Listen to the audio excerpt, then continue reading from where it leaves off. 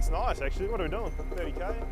Yeah, loving it. I'm at that stage in life where uh, not getting any younger, you never want to get to the end and say I should have tried harder.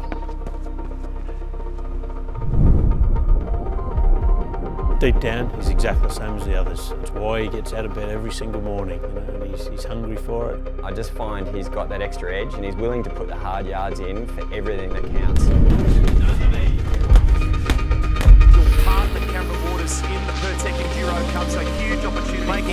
Good progress. He's coming on leaps and bounds as a professional racing driver. What a drive. Oh, I'd say I'd be the proudest dad in the world. It's like a dream come true and, uh, you know, we've worked really hard. The whole family's worked really hard and uh, we're nearly there, so we just got to keep going that little bit longer and hopefully it all comes true.